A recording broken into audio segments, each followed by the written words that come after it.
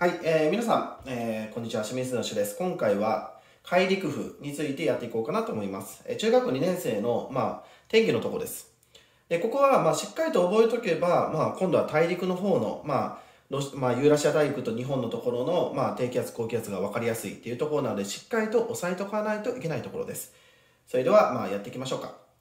えー、初めなんですけど、まあ、陸っていう性質と海っていう性質をしっかりと覚えておかないといけません。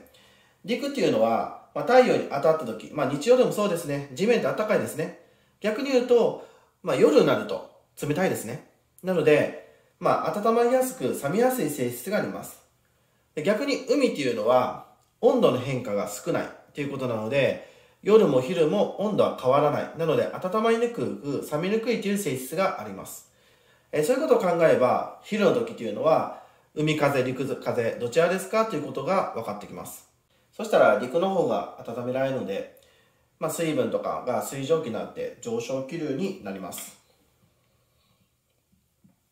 ってことは、まあ空気が軽くなるイメージってことなので、下の方は低気圧になるということがわかります。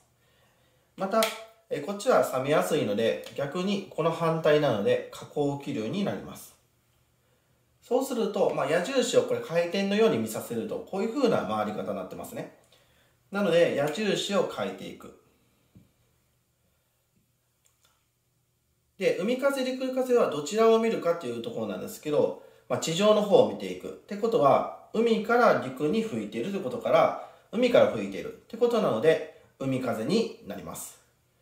そしたらまあ、夜もちょっとやっていきましょうか。はい、夜です。夜の方は、こっちの方が陸が冷め、冷めてしまって冷たくなりますね。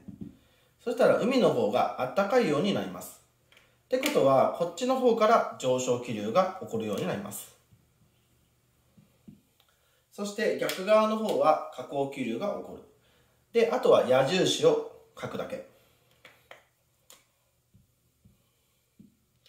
そうすると地上の方は陸の方から風が吹いてるってことなので陸風だということがわかります。えー、今回の問題が面白いと思います。ぜひともグッドボタンとチャンネル登録よろしくお願いいたします。またコメントを書いていただいて、なんかこういう授業してほしいよって理解あれば、まあ、どんどん中学理科ですね、コメント欲しいと思っております。それでは次の授業で、それではね、バイバイ。